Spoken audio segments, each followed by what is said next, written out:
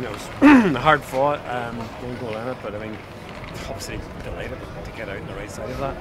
Yeah, I think top of the table clashes, and last week was no different. You know, when you when you have clashes like that, there's going to be nothing in the game. Um, and the important thing is to try and get the three points, whatever way they may come. And to be honest, I thought we, I thought we were going to rue a few good missed opportunities. You know, Skinner's a one-on-one. Ben, Ben has a good chance that's well saved. Um, Aaron Traynor's a header after about seven or eight minutes on that side where he, he gets caught in no man's land. And you always feel against the bigger sides as such that if you don't take those chances, they can come back to haunt you. And um, but credit to our boys, I thought we dug in really, really well. I thought we showed a real solidness over the last few games as well, and a real good mentality over the last few games. Um, and nice in particular with probably our biggest crowd of the season, the Country Mile um, to get a late winner at the shed end and hopefully bring a huge amount of people back uh, back to the stadium again.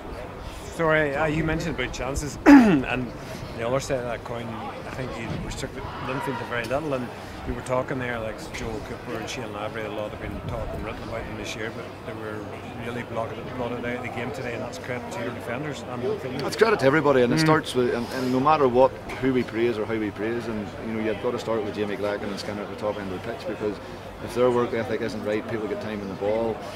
That hurts the midfield, and then if the midfield are off it, it hurts the defender. So, for as good as our defence is doing, you know, our clean sheets today is not about Chris in the back four and as much as we applaud them, but it's about the front six as well and how much work that they do to stop the quality of ball and, and the time of ball or the quality of delivery that comes to them. So as a unit, I just felt you know today we were we were right on it again. How pleased are you for Aaron Canning? Yeah, delighted. And both ends of the pitch. Both ends of the pitch. He's been, and I, and I said it to Aaron. I remember when he when, when he first was here at maybe 18, 19, 20 years of age, and I, and argued with his father at stages as well that that there'll come a point he'll be a centre half, and I said it's the best position for him. And I, I flirted with it the last time round, and I played him there at times three, four, five years ago, um, and he's now coming to the fore at that point of view where I just think it's the right time in his career to step in there, and possibly the same with Adam Mullan. You know, Adam's father Damien played for years at Limavady and, and won countless B divisions and everything else that goes with Limavady, and a real stalwart and a captain and a, and a great footballer of the game. And, and for me, Adam has played fullback for his whole career with us. He's just turned 24, I think, this week. Um, and he's possibly now coming to that stage as well where and again I've always said it to Adam and his father he'll end up in centre half and that's the position for him so um, for the two of them I'm delighted and I just thought they struck up a really good partnership and are two really good readers of the game I think there's three and a half thousand here today something like that yeah you've beaten Crusaders twice you've beaten Linfield twice heightened expectation? you sort of type of person to dumping that down? It's not heightened. I wouldn't call it heightened expectation. We've, I've always had an expectation myself, and you try and permit that into the change room and the four walls and everything that goes with it.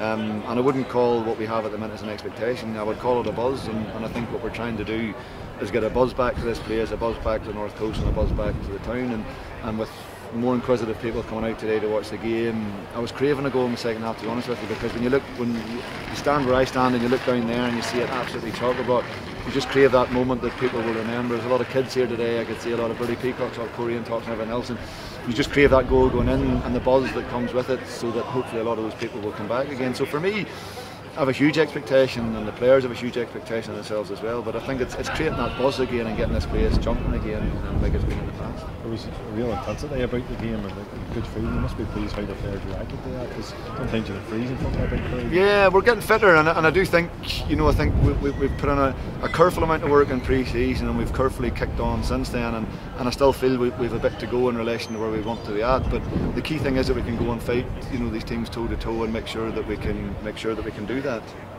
and to make, to make sure that we to, and to make sure that we can do that. So you know, overall, I just thought the game, even if we hadn't got the goal and it finished nil nil today, I think the three and a half thousand would have still went home. Saying, "Oh, that was a good game," or it was edgy, or it was tense, and everything else. And I think that's that's all you can ask for. Is there a part of you as well where it likes getting the one over and the likes of the Crusaders and other things in this world? A lot has been made up from going full time, etc.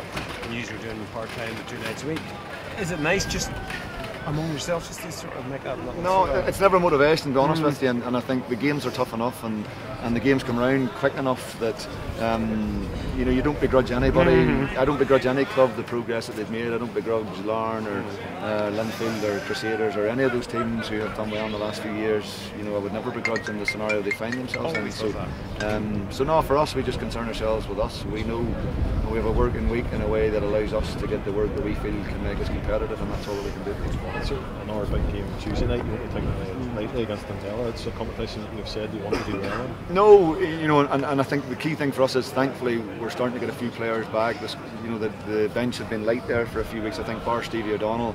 Um, touch wood at this point in time, we've everybody else who, who's fit and ready to go. So um, the key thing probably will be uh, on, on Tuesday night to maybe try and freshen a couple of areas to try and ensure that we can deal with a three game week. But for us, you know, the League Cup, and I've said it to the boys in there, has been a cup that's probably hasn't been as good to us in the, in the years that I've been here, bar one final, and, and it's one that we would like to get to get a run in. So you know we'll definitely be going at it for the It's, it's a big game for Dundela too. Like you Absolutely. Top, you're top of the tank, Danske Bank Premiership. It's a big evening for them. It is, and, and you know they're flying in that league. You know they beat Larne in the last round, and when you look the night when the result comes in, you look at it and go, "Oh, that was a good result against Larne. Did they make any changes?" And then you look at the team and see that Larne were pretty much full out that night. So um, that would give you an indication of the qualities that they have. And you know they, they have a lot of ex-Irish League players, Jay McGee, um, quite a few guys who've been about the league for a long time. So um, we know that we're going to need a big performance to, to get through.